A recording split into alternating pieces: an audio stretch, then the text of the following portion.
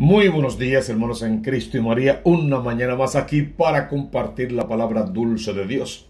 Hoy es martes 31 de agosto de 2021. Les habla el Padre Tomás Galarza Figueroa. Este es su canal de gracia y bendición. La semana número 22 durante el tiempo ordinario.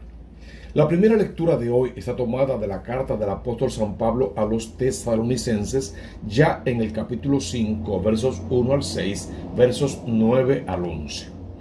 Pablo vuelve a reiterarse en el tema de estén alertas, estén preparados, estén vigilantes. Entonces podemos suplicar al Señor que en esta mañana nos cubra con su manto, con su amor, con su misericordia infinita, nos hable directo al corazón, siembre allí la semilla de la fe y ésta germine y dé frutos.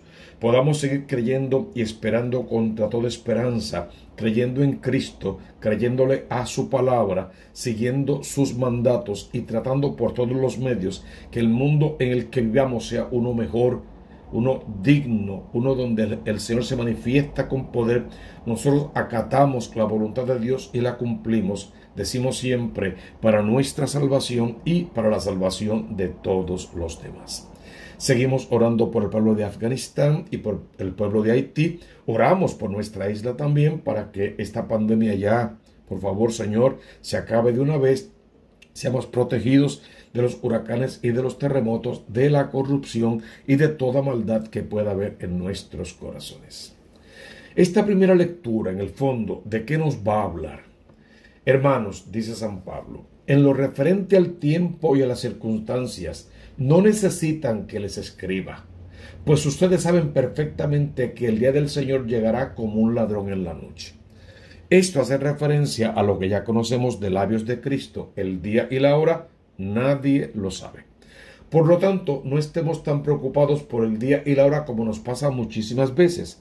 Estemos preocupados por estar alertas, por estar preparados, por estar despiertos, por haber vivido una vida digna, agradable ante los ojos de Dios, por haber sido felices en este mundo con todas las cosas buenas que este mundo ofrece, sin prostituirnos con las invitaciones pecaminosas que el mundo también ofrece, sino conociendo y viviendo en la libertad de los hijos de Dios. Por eso hay que dividirlos en dos grupos. Un grupo que no estará preparado. Y ustedes, hermanos, que viven no en las tinieblas, sino en la luz de los hijos amados. Esos, los que no están preparados, ¿cómo estarán en su momento? Pues diciendo paz y seguridad, todo está bien, disfrutamos, gozamos, la pasamos bien, no hay ningún problema. Esas, esas historias del cristianismo y demás son cuentos de camino. Olvídense de eso, a disfrutar la vida que es solamente una y hay que gozarla a cabalidad. Esos, los que viven así, un día, dice la palabra, de improviso, les sobrevendrá la ruina como los dolores de parto a la que estén cinta y no podrán escapar. O sea, ese día, por más que lo niegues hoy, por más que vivas de espaldas, el día del Señor va a llegar como ladrón en la noche. Y si no estás preparado, es tu ruina. ¿Por qué? Porque no hay salvación para ti, porque rechazaste la promesa de la salvación y porque sabiendo que Dios existe, te pusiste a vivir como si Dios no existiera. Sin embargo, para ti, para ti que crees, que esperas, que confías en el Señor, para ti es otra cosa. Tú no vives en tinieblas.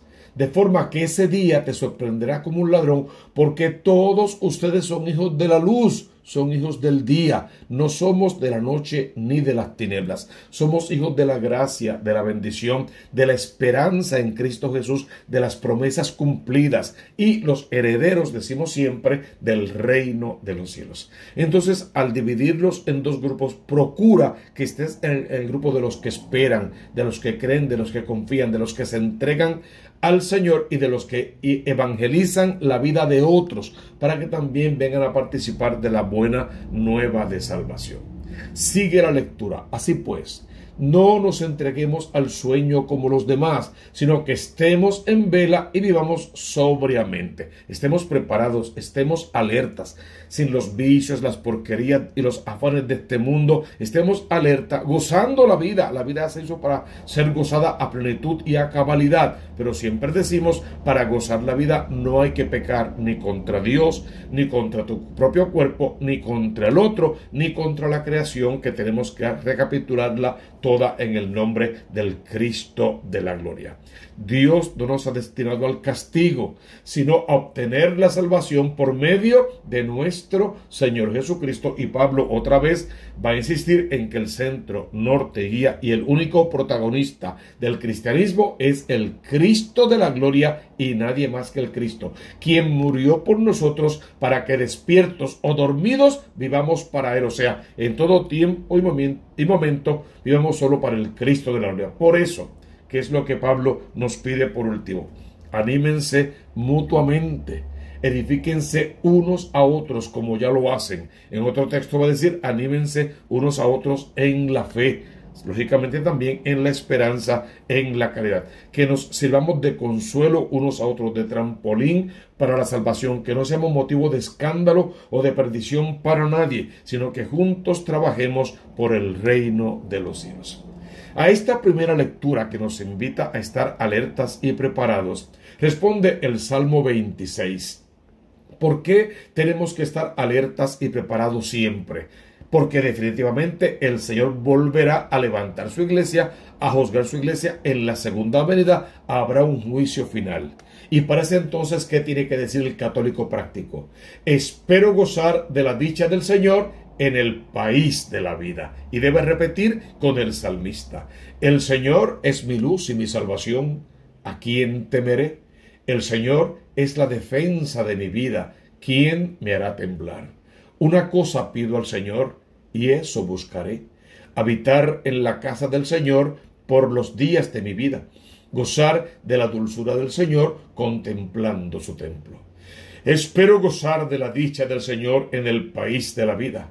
Espera en el Señor. Sé valiente. Ten ánimo. Espera en el Señor para que cuando llegue en su segunda venida estemos alertas, preparados y seamos arrebatados con Él al cumplimiento de todas las promesas que nos hizo. La Iglesia Católica hoy nos regala un evangelio hermoso, particular, que hay que escudriñarlo bien. Está tomado, según San Lucas, otra vez en el capítulo 4, versos 31 al 37. Jesús ya estuvo en Nazaret, estuvo en su casa, en la sinagoga, no lo recibieron bien y conocemos todas las peripecias de aquello que sucedió allí. ¿Qué nos presenta San Lucas hoy? En aquel tiempo Jesús bajó a Cafarnaún, ciudad de Galilea, Galilea donde todo comenzó, y los sábados les enseñaba iba a la sinagoga, ya sabemos que tenía algunos ministerios, predicaba con poder la palabra y aquel, aquella forma de predicar de verdad les llamaba la atención. Otra vez, se quedaban asombrados de su enseñanza, porque su palabra estaba llena de autoridad. Solo que la autoridad de, Jesús no es el éxito de este mundo, sino la gracia y el poder del amor que ha de ser comunicado en la palabra viva de Dios. Mientras Jesús hacía esto, hay un evento que se da en la sinagoga un hombre poseído por un espíritu de un demonio inmundo y se puso a gritar con fuerte voz. Fíjate que el grito del, demonio era contra la persona de Jesús. O sea, básicamente reconocía Jesús, sabía que Jesús era el Mesías, sabía que Jesús tenía poder sobre él y por eso lo increpaba. Basta. ¿Qué tenemos que ver nosotros contigo, Jesús de Nazaret? Es como si deja, dedícate a lo tuyo y déjanos a nosotros dedicarnos a lo nuestro. No te metas con nosotros, no nos meteremos contigo.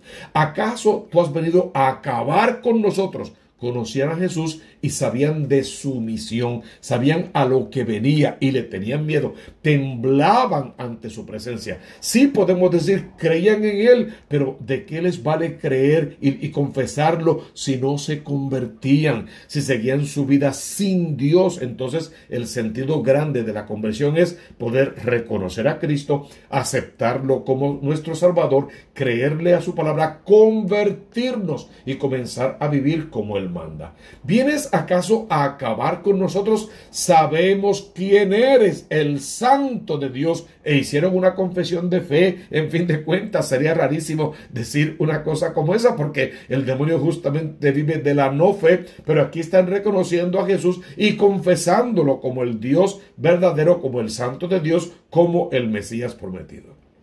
Pero Jesús, que los conocía bien, los increpó. Cállate y sal de ahí. Cállate, porque el tiempo de la hora de Cristo no ha llegado. Entonces es un proceso que hay que vivirlo día por día. Es un descubrir al Mesías en Cristo para poco a poco ir aceptándolo e ir cambiando todo lo que en la conducta y en la sociedad, en la cultura y en el mundo tenga que ser cambiado para que Cristo venga a reinar para siempre en nuestros corazones. Dile a la maldad, dile al mal, dile al demonio en esta mañana, cállate y sal de mí, cállate y déjame en paz, cállate y no intentes seducir porque dile al demonio, yo soy propiedad exclusiva del Cristo de la gloria. Cuando Jesús le dice, cállate y sal de ahí, el demonio tirando al hombre por tierra en medio de la gente salió sin hacerle daño. Sin hacerle daño porque lo que Cristo toca con su poder y con su amor queda preservado ya para el reino de los cielos.